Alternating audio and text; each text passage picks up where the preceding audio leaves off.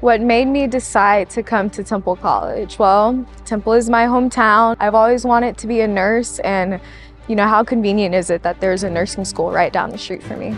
I like to think of myself as a people person. Um, taking care of people is a huge passion of mine.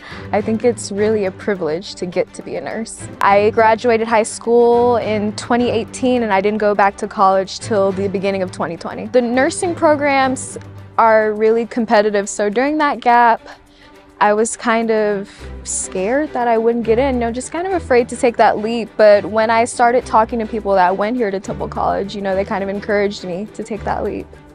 I feel great about it now. I'm really confident in my skills now. Going through the nursing program, it's been hard, but I mean, I've made a lot of friends. It's teaching me discipline, time management. My grades are really good, surprisingly. It is a hard program, but through my faculty and just my support system, I'm getting through it. I didn't come into nursing school thinking that I'd build all these friendships. You know, they really feel like they're gonna be lifelong. I've made some good connections. I mean, I'm halfway through the program and I've gotten a few job offers. So I've gotten a lot of good connections made. I wish I had known that Temple College would be this encouraging. They have all the resources you could think of to make you succeed. Like there's it's I don't want to say it's impossible, but it's almost impossible to fail here with the support system that we have.